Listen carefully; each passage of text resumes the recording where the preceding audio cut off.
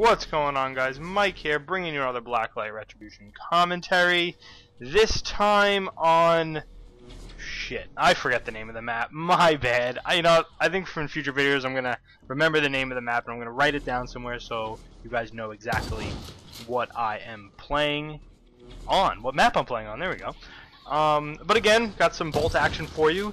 But this time I actually, you know, spent a thousand Zen that you get from your 5,000 free Zen, and I bought the Incendiary magazines, and I must say, they are absolutely uh, ridiculous. Like, they're so much fun to use, and, you know, normally you shoot someone with one shot and they don't die. Now you shoot them with one shot, and either they die, or they take burn damage and then die. So, it was definitely a nice buy. That was a sick jump shot. I don't care what anyone says. That was nice.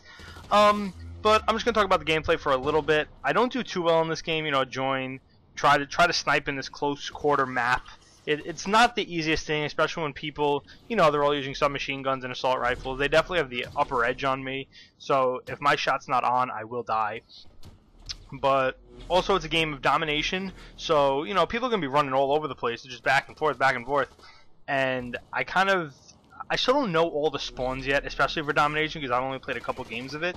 So, so, I feel like sometimes people you know spawn behind me, spawn you know right next to me. So I still gotta learn it, and and it, it's a learn it's a work in progress. But don't worry because like right here, I had no idea, but oh I, I got this guy, and I was like get off me. But that's incendiary bombs for you, or incendiary magazines. Really good. Um, and I suggest, you know, if you're someone who likes to snipe, I suggest picking them up, you know, test them out and see how they work for you. But uh, I do make a couple nice shots in this game, so that's why I decided to choose it. Also because it's a domination gameplay, and when I play domination, even if I'm sniping, I like to be, you know, I like to play aggressively. Um, you know, rush points, do whatever you got to do to get a point, you know, uh, work with your team. Unlike capture the flag, where you know I like to play defense, sit back, and you know support my team in domination, I like to be an aggressor and an initiator, and I like to, you know, get up in their face. And that's what I'm doing in this gameplay, and that's why I decided to choose it. But anyway, for those of you who are interested in playing this game, uh, they're currently, uh, what is it? They're currently giving away like 10,000 beta keys, and they're everywhere. Pretty much any site you go on, you can get one. go on their site and get one. You go on Twitter and get one. Joystick has them, like One Up, MMO, like all these different places have all these beta keys. So if you're interested in playing this game, just go get it. Like there should be no reason why you don't get a beta key and at least test it out before you bash it. Because I know a lot of people like, oh, you know, I don't like the whole futuristic of it. The HRV that you have is a little overpowered because you can see through walls and see where people are. I mean, I don't really see it that way. I see it more as, you know, an anti-camping unit and also a way to, you know, set up plays and know where to go and where like what vantage point to go from, where to shoot people from. So it definitely adds a whole nother layer of skill and I'm actually really glad it's in the game. I think it's super super helpful. Um, aside from that, like there's really nothing else that should put you off about this game. Like the graphics are awesome for a free-to-play game. You know, the engine works beautifully. I haven't really had any problems with pretty much anything in this game. The only thing I will say is a little bit eh that I don't like are the hard suits, but I feel like you gotta get used to it, and I still don't know how to play against it. This guy gets fucking rocked. Oh man, I think that clip right there was the whole reason why I wanted to put this gameplay in.